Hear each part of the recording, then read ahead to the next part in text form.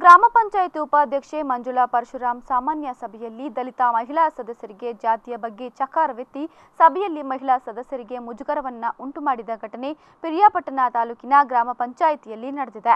ಇಂದು ಬೆಳಗ್ಗೆ ನಡೆದ ಸಾಮಾನ್ಯ ಸಭೆಯಲ್ಲಿ ಕೂಡ ಸರ್ವ ಸದಸ್ಯರನ್ನ ಉದ್ದೇಶಿಸಿ ಅವಾಚ್ಯ ಶಬ್ದಗಳ ಪದ ಬಳಕೆ ಮಾಡಿ, ಇದರಿಂದ ಆಕ್ರೋಶಭರಿತರಾದ ಸರ್ವ ಸದಸ್ಯರು ಸಭಾತ್ಯಾಗ ಮಾಡಿ ಈಗೆಯ ಸದಸ್ಯತ್ವವನ್ನ ರದ್ದುಪಡಿಸಬೇಕು ಎಂದು ಆಗ್ರಹಿಸಿದರು ಅಲ್ಲದೆ ಸಾಮಾನ್ಯ ಸಭೆಯು ಮುಂದೂಡಿಕೆಯಾದ ಪ್ರಸಂಗ ಜರುಗಿತು.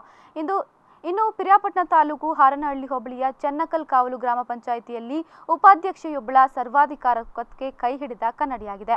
ಇನ್ನು ವರದಿಗಾಗಿ ತೆರಳಿದ್ದ ನಮ್ಮ ಇಂಚರ ವಾಹಿನಿಯ ವರದಿಗಾರರ ಕರ್ತವ್ಯಕ್ಕೆ ಅಡ್ಡಿಪಡಿಸಿದ್ದಲ್ಲದೆ ಬೇಜವಾಬ್ದಾರಿಯ ಮಾತುಗಳನ್ನಾಡಿದ್ದಾರೆ.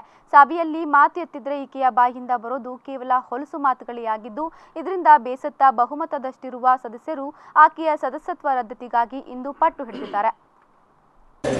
ಪಂಚಾಯತಿ ಸಮೂಹದಲ್ಲಿ ಪಂಚಾಯತ್ ನಡಿಬೇಕಾದ್ರೆ ಮಾಧ್ಯಮ ಮೇಲೂ ಕೂಡ ದೌರ್ಜನ್ಯ ಎಸ್ಕಿರೋದು ಅದಕ್ಕೆ ಪಬ್ಲಿಕ್ ಎಲ್ಲ ನೋಡಿದ್ರೆ ಮತ್ತೆ ನಿಮ್ಮ ಇದರಲ್ಲಿ ರೆಕಾರ್ಡ್ ಆಗೈತೆ. ನೀನ್ ಯಾರು ಹೋಗಬಾರ ಅಂತ. ಅಂದ್ರೆ ಮಾಧ್ಯಮದವ್ರ ನೀನ್ ಯಾರು ಹೋಗಬಾರ ನೀನ್ ಯಾರು ಬರಕ್ ಹೇಳಿದ್ರು ಅಂತ. ಅಂದ್ರೆ ಏಕವಚನ ಬಳಸ್ಕೊಂಡ್ಬಿಡೋದು ಅಂದ್ರೆ ಅವ್ರನ್ನ ಯಾರು ಹೇಳಂಗಿಲ್ಲ ಕೇಳಂಗಿಲ್ಲ ಅವ್ರಂತ ಸರ್ವಾಧಿಕಾರ ಸರ್ವಾಧಿಕಾರ ಧೋರಣೆಯನ್ನ ತೋರಿಸಿರೋದು. ಅದ್ ನೇರವಾಗಿ ಕಣ್ಣು ಕಾಣಿಸ್ತಾ ಇದೆ. ನಮ್ಮ ಅಧ್ಯಕ್ಷರು ಅದು ಕೂಡ ಸಮಸ್ಕೋತಾರೆ ಇದು ಒಂದು ಏನ್ ಮಾಡಕ್ಕಾಗೋದಿಲ್ಲ ಅಂತ. ಅದೇನೋ ಏನೋ ಅವ್ರದ್ದು ಒಳಪ್ಪಂದ ಏನಾಯ್ತು ಅದು ದೇವರೊಬ್ಬ ಗೊತ್ತು. ಇದು ಕನ್ಸೋದೇ ಇಲ್ಲ. ಮರುಗಳು ಎಲ್ಲ ಆ, ಪ್ರತಿಯೊಬ್ರು ಕೂಡ ಎಲ್ಲರೂ ಕೂಡ ಈ ವಿಚಾರದಲ್ಲಿ ತಪ್ಪು ಅಂತ ಹೇಳ್ದವ್ರೆ ಈ- ಈ ವಿಚಾರದಲ್ಲಿ ಪಕ್ಷಪಾತ ಇಲ್ಲ. ಯಾವುದೇ ರೀತಿಯಾದ ಪಕ್ಷಪಾತ ಇಲ್ಲ. ಏನೂ ಇಲ್ಲ. ನಾವೆಲ್ಲರಿಗೂ ಹದಿಮೂರು ಜನ ಕೂಡ ಒಂದೇ. ನಾವು ಇಲ್ಲಿವರೆಗೂ ಕೂಡ ಒಂದೇ ಅನ್ಕೊಂಡಿದ್ದೆ ನಾವು. ನಾವು ಪಕ್ಷಪಾತನೇ ಮಾಡಿಲ್ಲ.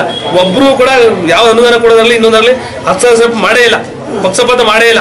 ನಾವು ಒಂಥರ ಅಕ್ಕ ತಂಗರಿಗೆ ಅಣ್ಣ ತೊಂದರೆಗೆ ಆಯ್ತು ಇವತ್ತು ಈಗ ಒಂದ್ ಮೂರ್ನಾಲ್ಕು ಮೀಟಿಂಗ್ ಇಂದ ಯಮ್ಮ ಅಮ್ಮ ಒಂಥರ ಉದ್ರೇಕ ಉದ್ರೇಕ ಮಾತಾಡಿ ಮಾತ್ರ ಪ್ರತಿ ಮೀಟಿಂಗ್ ಒಂದು ಅವಹೇಳಕರುಗಳು ಮಾತಾಡಿರೋದು.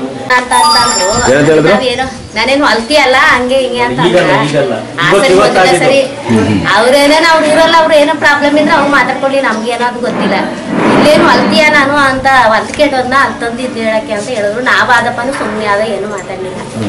ಪುನಃ ಈಗ ಈಗ್ಲೂ ಹಂಗೆ ನಾವು ಯಾಕೆ ಅಮ್ಮ ಮಾತಾಡ್ಲಿಲ್ಲ ಹಂಗೆ ಹಿಂಗೆ ಅಂತ ಹೇಳಿದ್ರು ಅಯ್ಯೋ ಅಲ್ತಿರ ಜೊತೆ ಏನ್ ಮಾತು ಅಂತ ನಾವ್ ಅಂದ್ವಿ. ಇನ್ನೇನು ಜಗಳ ಇಲ್ಲ.